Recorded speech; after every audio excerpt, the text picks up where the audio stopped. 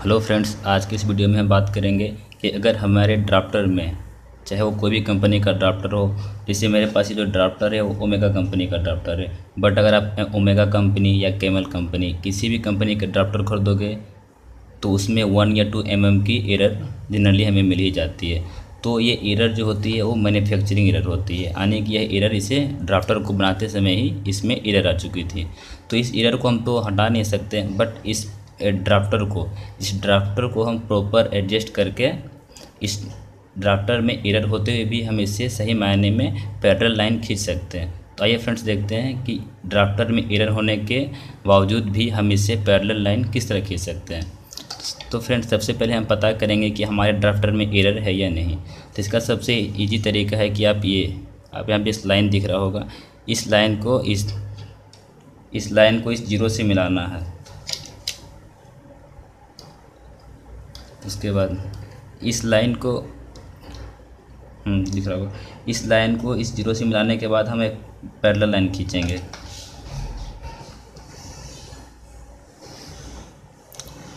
तो फ्रेंड्स जैसा कि हम देख रहे हैं इस लाइन को इस ज़ीरो से कॉन्साइड करने के बाद जो हम लाइन खींच रहे हैं वो पूरी तरह से पैरेलल नहीं खींची जा रही है। इसका मतलब है कि हमारे इस ड्राफ्टर में कहीं ना कहीं एक या दो एम की एरर है। तो अब हम ये पता करेंगे कि इस ड्राफ्टर में कितने एम mm की एरर है। तो हम ड्राफ्टर को अपने कार्डबोर्ड कार्डबोर्ड या इस वुड वुड्स के अकॉर्डिंग एडजस्ट करेंगे। इसे आप यहाँ पे अपने कार्डबोर्ड के अकॉर्डिंग एडजस्ट कर सकते हो बट इसमें यहाँ पे ध्यान देना होता है कि ये ये जो डिस्टेंस ये पूरी तरह से पैरल होनी चाहिए। तो आप यहाँ से भी इसे ले सकते हो, या फिर आप इस वुड अगर ये आपका वुड पैरेलल है तो आप इस डिस्टेंस को यहाँ से भी ले सकते हो, इस तरह से। तो यहाँ से लेने के बाद, लेकिन जब हम ये डिस्टेंस को यहाँ और यहाँ से लेंगे तो हमें ये नहीं ध्यान देना है कि ये ज़ीरो से कौन साइड कर रहा कि ये नहीं कर रहा क्योंकि हमें पहले ही पता है कि ड्राफ्टर में एक या दो एम की एरर है।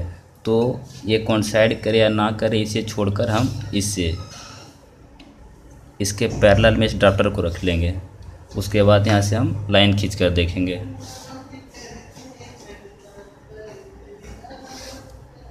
तो फ्रेंड्स, जैसा कि हम देख पा रहे हैं, ये जो लाइन है, ये दूसरी लाइन, इस लाइन, ये जो लाइन है, इसमें एरर है।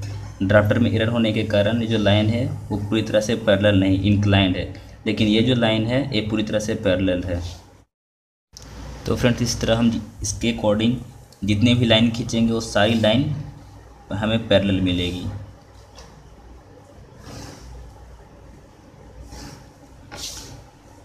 तो फ्रेंड्स, इस तरह से ड्राफ्टर का प्रॉपर एडजस्टमेंट करके ड्राफ्टर में एरर होने के बावजूद भी इसे हम पैरेलल लाइन खींच सकते हैं। अगर हम यहाँ पे अगर देखना चाहें कि इस ड्राफ्टर में कितनी की एरर है तो यहाँ पे आप ध्यान से देखिए।